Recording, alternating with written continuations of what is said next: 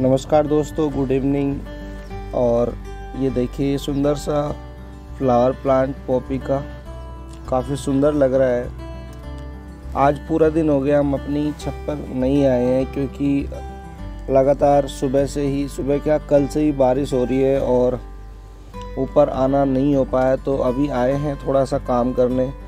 एक तो मैंने अपनी जो स्ट्रॉबेरी हैं, उनमें कुछ फर्टिलाइज़र देना है, उसी के बारे में मैं आपको जानकारी दूँगा। लेकिन उससे पहले ही मैं आपको ये प्लांट दिखाना चाहता हूँ। ये पॉपी का प्लांट है और इस पर सुंदर से फूल अभी आने वाले हैं कुछ ही दिनों में। बर्ड्स इस पर आ गई हैं और पूरे गार्डन में चारों तरफ़ पानी ही पानी है, हर तरफ़। ये देखिए। पौधे सारे धुल भी गए हैं अच्छा भी है, लेकिन ये बारिश काफ़ी ख़राब भी करती है। जो हमारे फ्लावर प्लांट होते हैं, उनको तो बिल्कुल बुरा हाल उनका हो जाता है। और ये कुछ मैंने छोटे छोटे से पौधे लगाए हैं। तो आइए चलते हैं और अपना जो काम हमने करना है स्ट्रॉबेरी में, वो करते हैं। ये मेरे स्ट्रॉबेरी के पौधे मैंने लगाए थे, उसकी वीडियो भी मैंने डाली थी। और इन पर देखिए फ्रूटिंग इन पर स्टार्टिंग हो गई है ये देखिए। फ्रूट्स इन पर बनने लगे हैं और फ्लावरिंग भी काफ़ी आई हुई है। तो अब इनको क्या है कि थोड़ा सा ना न्यूट्रिशन चाहिए क्योंकि जितने ज़्यादा इस पर फ्लावरिंग आएगी, फ्रूटिंग आएगी, पौधे को उतनी ही न्यूट्रिशन की ज़रूरत पड़ेगी। तो अभी तो मैंने इनको न्यूट्रिशन में कुछ ज़्यादा नहीं दिया था। पहले खाद दी थी हमने गाय के गोबर की, पुरानी और उसके बाद मैंने इनको एक बार सीविड का जो एक्सट्रैक्ट होता है, वो मैंने ऑनलाइन बाई किया हुआ है। वो मैंने एक बार स्प्रे किया था इनको। अब इनको फ़ीड करने की और टाइम आ गया इनको थोड़ा सा न्यूट्रिशन देने का। तो मैंने आज यही बताने के लिए कि मैं आपको बता भी देता हूँ, साथ में दे भी देता हूँ इनमें। और ये आप देख रहे होंगे, ये हरा हरा सा, ये मैंने फंगिसाइड पाउडर दिया था।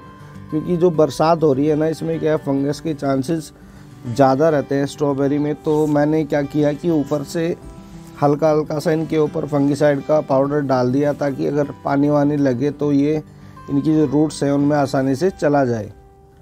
और फिर अंदर जो इनकी रूट्स तक ये पहुँच जाएगा तो फिर चांसेस थोड़े से कम हो जाएँगे इनमें फंगस लगने के। तो मैं बात कर रहा था इनको न्यूट्रिशन देने की तो मैं एक खाद इनको आज दूँगा और मैं आपको दिखा भी देता हूँ ये खाद, ये देखिए। ये ये मैंने ली है और ये सरसों की जो खली होती है ना मस्टर्ड केक उसको मैंने ग्राइंड कर लिया है मिक्सी में। ये ये देखिए। इसको मैंने ग्राइंड कर लिया है और कुछ इस तरह से ये बिल्कुल बारीक हो गई है। मैं आपको मस्टर्ड केक दिखाता हूँ पहले।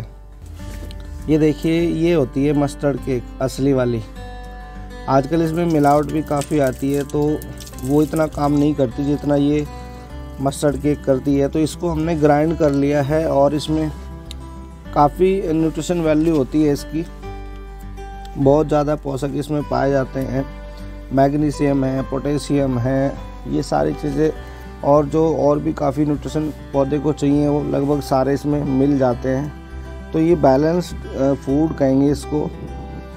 तो ये आज हम इनको देने वाले हैं और लगभग मेरे पास ये अभी बड़े प्लांट हो गए हैं तो मैं दो चम्मच भी दे सकता हूँ इनसे, क्योंकि ये ऑर्गेनिक फर्टिलाइज़र है, उससे थोड़ा बहुत ऊपर नीचे भी हो जाता है तो कोई दिक्कत वाली बात नहीं होती। तो मैं दो दो चम्मच इनमें अभी दे रहा हूँ।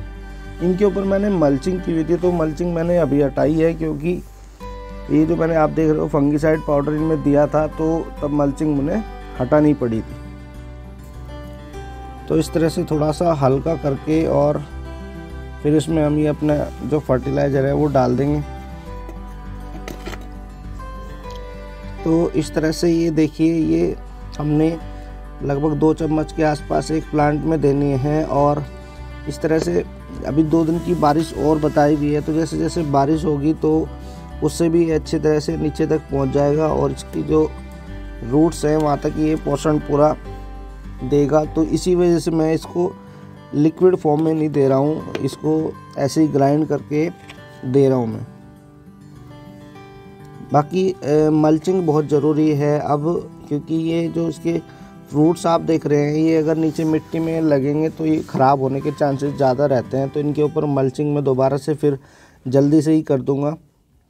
और मैं बात कर रहा था कि मैं इसको लिक्विड में नहीं दे रहा हूँ। लिक्विड का भी ऑप्शन रहता है, अगर लिक्विड फर्टिलाइज़र आप बना के डालना चाहते हैं इनके ऊपर तो वो भी डाल सकते हैं। बरसात के कारण मैं अवॉइड कर रहा हूँ थोड़ा सा, क्योंकि ऑलरेडी इनमें इतना मॉइस्चर बना हुआ है तो ज़्यादा मॉइस्चर की वजह से लिक्विड डालना इनमें ठीक नहीं रहेगा। तो इस तरह से हमने देखिए ये जो फर्टिलाइज़र है हमारा मस्टर्ड केक का पाउडर ये हमने डाल दिया है और अब मैं आज तो अब शाम हो गई है, कल इनमें मल्चिंग भी कर देंगे।